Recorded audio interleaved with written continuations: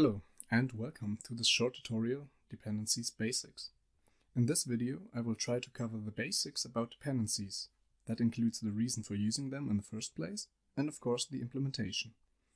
In later videos I will also talk about working with nested dependencies, characteristic variables, exception and error handling, as well as using namespaces. For this I will use a test suite I prepared beforehand. This suite uses our demo application jcar configurator, which is also included in your installation of QF-Test. You can find this suite in the video description if you want to try it out yourself. Okay, let's jump right in. There's our first test case. It's a simple test with a setup node, some tests on the application itself, and a cleanup at the end to close our SUT.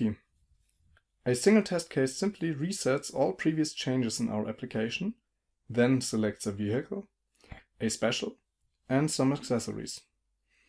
After setting the discount, the final price is checked. The setup and cleanup node consists of some procedures. Let's have a look at the procedures available in the suite already. The SUT package only contains procedures to start and stop the SUT. The procedures from the car config package are used for the test cases, but are more or less irrelevant for our current topic. Now I run this test set to demonstrate how the suit works. So the test is currently running and checking all different discounts. And now he's done. Let's take a look at the protocol. There's the setup. The car configurator is started. The tests are completed. But after the test case, the entire application is shut down. But it has to be started again for the next discount value. As you can see here, a complete restart takes about three and a half seconds. This quickly adds up and is the main reason why this test took so long to complete. Our demo application is relatively small and a simple program, but when testing a more complex SUT, constantly restarting is not an option if we want to create efficient tests. In our case, the cleanup is unnecessary after each test case, since the changes are reset anyway, and our application would be ready for the next test case anyway. But simply removing the cleanup is not an option. If I do that, a single exception could interrupt the entire test run instead of only affecting a single test case. Having a cleanup after every test case can be intentional, of course, but wouldn't it be more elegant to only execute a cleanup if it is actually necessary? There's one more disadvantage with our current test. There are times when you want to run a single test case manually, for debugging purposes or to quickly test if the latest patch resolved a specific issue, for example. But currently, to run a single test case, you'd have to manually ensure that all its preconditions are met, or else run the entire test again. To demonstrate this, I have to execute this setup node, and then afterwards the test that I actually need. Admittedly, this is easy for a small demo suite, but as you can imagine, it can quickly become pretty hard when working with bigger suits and applications. As you can see, we need another tool to better handle these problems. And that's where dependencies come into play. Dependencies handle the setup and cleanup requirements for a test set or test case automatically and in an optimized way. Using dependencies, single tests can be started without manually setting its preconditions. This even works if a completely different test was executed beforehand. Also, they avoid unnecessary cleanup actions. To summarize this, Dependencies enforce a state, whereas setup and cleanup nodes only execute some sequences. Of course, they only do that if implemented correctly, so let's take a look at how to build and use a simple dependency. I just copy the previous test set and rename it to something different. Let's say test with dependency. Now I insert a dependency node into my test. For this, I press Insert, Dependencies, Dependency, or alternatively, right-click, Insert Node, Dependency. The requirement for this test is that the jcar configurator is running, so I'll simply rename it SUT started. As mentioned before, a dependency handles the requirements for setup and cleanup, so it makes sense to include a setup and cleanup node in our new dependency. To keep it simple, I'll just copy the nodes used in the previous test into my new dependency. You might have asked yourself, why did I define this dependency at my test set when I want to use it in the test cases?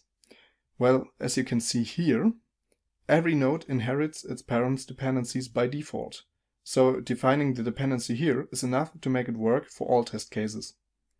Anyway, we finished building our very first dependency. Let's try it out. For this, I kill the SUT. As you can see, there's currently no active client, so the preconditions for our tests are not fulfilled at the moment. Trying to start a single test case in the old test set leads to an exception.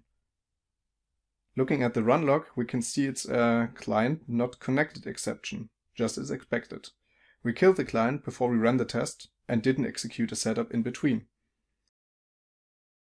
However, the dependency should solve this problem, so let's try it out. And, unsurprisingly, it worked. The test is executed although the requirements for the setup were not fulfilled before. But what happened exactly? As you can see here, the first thing QF-Test did was checking the dependencies. What we are interested in right now is this node here, required dependency. This means that our test case discount 10 requires the dependency SUT running to be executed. Logically, QF-Test now runs this dependency setup and starts the application automatically. This makes viewing singular tests immensely easier. Let's run the entire test from start to finish. I kill the client once more and execute the test set. Apparently, this was way faster. That's probably because the application wasn't restarted after every single test case. The correct usage of a dependency saved us about 8 seconds, or two-thirds of the total time needed. In the run log, we can catch a glimpse of the inner machinations of QF-Test dependencies. The first test case didn't change. The test case needs SUT started and executes the setup. Interestingly, a cleanup is nowhere to be found, which does explain why our application didn't get restarted all the time. To understand how this works, it is necessary to know about the order of events within a dependency. If a test uses dependencies, QF-Test will look them up at the start of each node that requires them, mostly test sets and test cases. QF-Test saves the currently active dependency or dependencies in a list, see saved dependencies in the run log. At the start, this list is empty, but as soon as a dependency is executed, its name will be saved in this list. Now, every time a new test case is executed, its required dependencies are compared to the saved dependencies. If they match, as you can see here, everything is fine. For QF-Test, this means that the current test and the previous test require the same preconditions, so a cleanup in between these tests would be unnecessary. If there was a difference between the previous saved dependency and the currently required dependency, the previous dependency's cleanup node would be triggered. Eventually, the setup node of the current dependency is executed. This happens every time the dependencies are checked, so it's important that we put some thought into the creation of our setup node. In our case, the setup should do the following. Start the SUT, but only if it is not already running. This is important. The setup node is triggered every time, so make sure to include some sort of check so it works correctly. This suit implements the conditional setup already. For demonstration, I'll jump to the setup with right-click Find Node in Test Suite. There you can see a Wait for Client node that checks if our car configurator is currently available. The result is saved in is SUT running.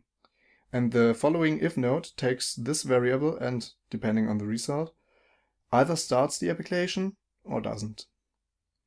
Again, it's important to keep in mind that this is always happening at the beginning of each test case or test set with dependencies.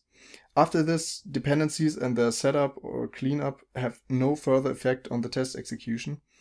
That especially means that cleanups, if needed, are not executed at the end of a test case, as they were without dependencies. Instead, QF-Test decides at the start of a test when comparing dependencies if the cleanup node of the previously used dependency has to be used. Let's watch this in action. I already prepared a test case with a different dependency than the one we defined earlier. This test case is only intended to be a demonstration of dependencies. It doesn't actually do anything except printing its current state into the terminal. It's only meant to show how cleanups work in combination with other dependencies. I'm now running the test case test with different dependency. As you can see in the run log, the names of the dependencies differ. We had SUT started saved in our list, but we now require a different dependency. Only now the cleanup of the previous dependency is triggered. Before the step, QF-Test couldn't know whether it would be necessary or not, as it would have been also possible that I started another test with the same dependency as before. Now that the requirements for our tests are managed by dependencies, we can start any test case from any test set that implements a dependency. That really is an improvement compared to the very first test we analyzed.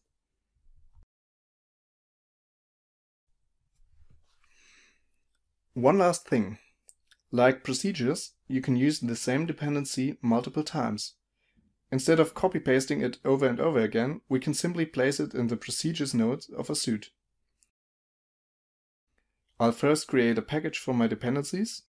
So insert procedure nodes package and name it uh, dependencies. Now I move my dependency in this package. Of course, I could have defined it there in the first place. Now I can insert a dependency reference in my test set by choosing insert dependencies dependency reference and either entering its name or choosing it with this button. Of course, simply dragging and dropping the dependency from the package works as well. This dependency reference node works just like our dependency node did.